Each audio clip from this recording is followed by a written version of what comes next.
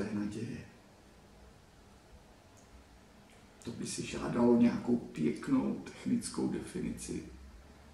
Třeba naděje je, když. Naděje je, když vidíme nějakou pozitivní možnost tam, kde jsou jenom negativní okolnosti. Ale protože my jsme tu za poetu, tak to zkusíme jinak. Naděje není když, ale naděje je jako. Naděje je jako vztah, jako blízkost.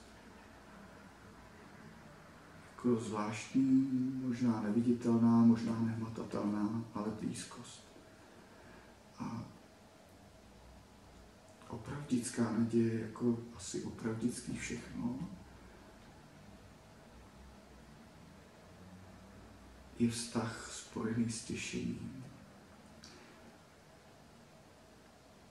Možná je to jediný zázrak, který může zažít každý člověk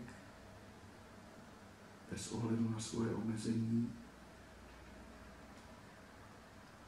ať už materiální, zdravotní, intelektuální, protože každý jsme nějakým způsobem omezený a postižený. A naděje je zázrak, který můžeme prožít i tak. A ten zázrak vnímáme jako vztah, jako blízkost, kterou možná neumíme přímo ukázat konkrétně. Je to tenhle člověk. To neviditelný vztah.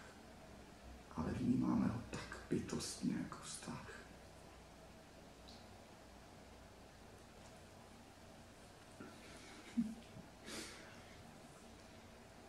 Kde se naděje bere? No, to je docela záhada. Asi si těžko můžeme nějak vynutit nebo vydřít, vystekat. V ideálním případě ji můžeme vnímat jako dar. V tom méně ideálním jako nedostatek nebo jakýsi dluh.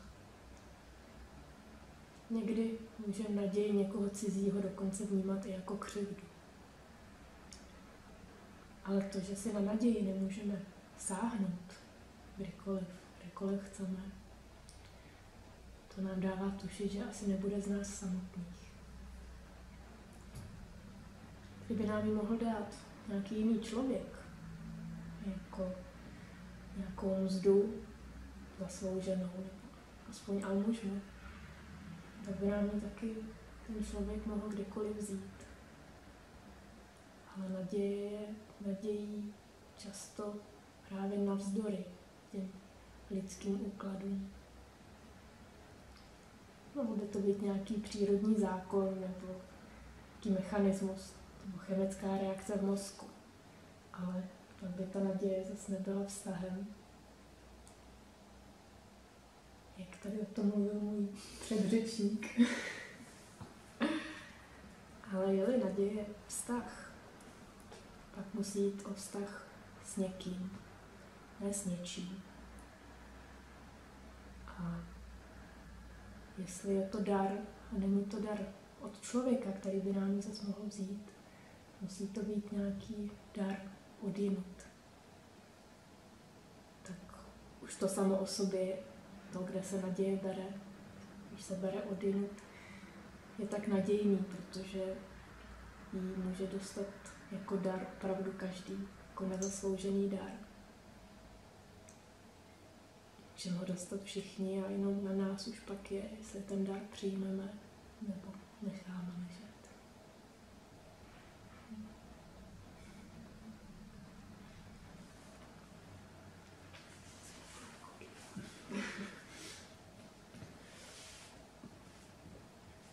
Jestli se dá naděje vůbec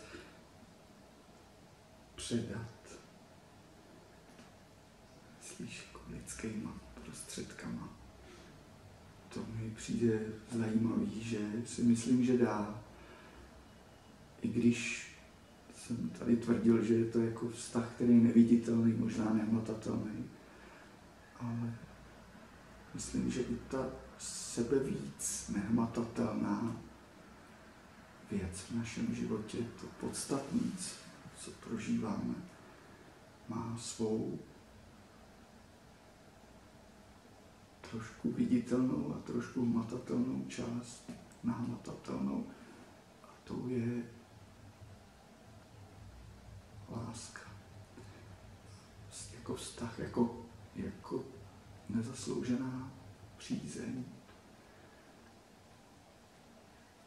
Kdo ji zažívá, tak ví a může říct úplně divadelně s patosem na rovinách lidských i nebeských. Takže si myslím, že se dá předat naděje. Naděje se dá předat láskou. Ale ještě bych dodal,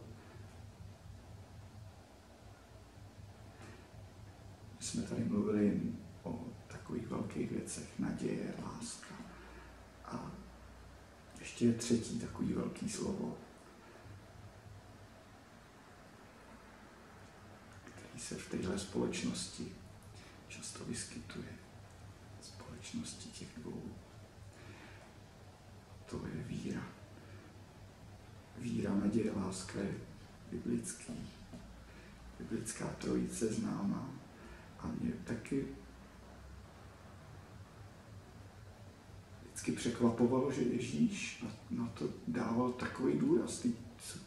Nestačilo by teda, kdyby jsme měli tu naději a kdyby jsme měli tu lásku mezi sebou, proč pořád ta víra. A, ale pak mi přišlo, že, že je tam mnohem větší spojitost mezi vírou jako důvěrou, jako spolehnutím se ono je to spojené už lingvisticky, jo, ale i významově, že ta víra je mnohem víc spolehnutím se, že je naděje, která je blízká a osobní. Naděje, která se projevuje láskou.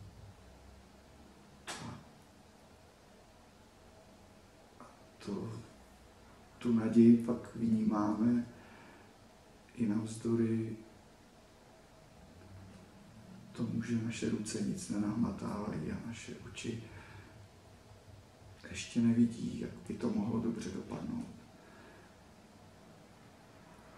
Nám se občas vysmívají, že pořád meleme ty velké slova v našich písničkách, právě tyhle víra, naděje, láska.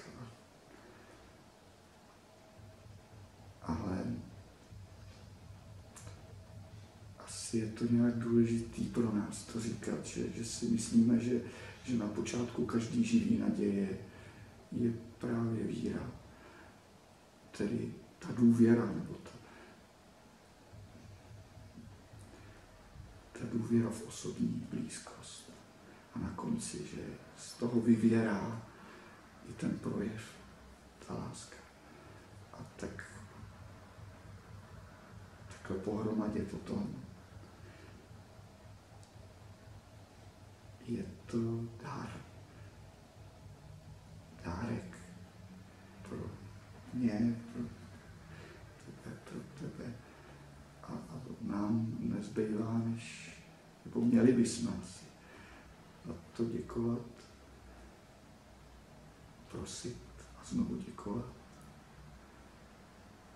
každému dárci. Děkuji.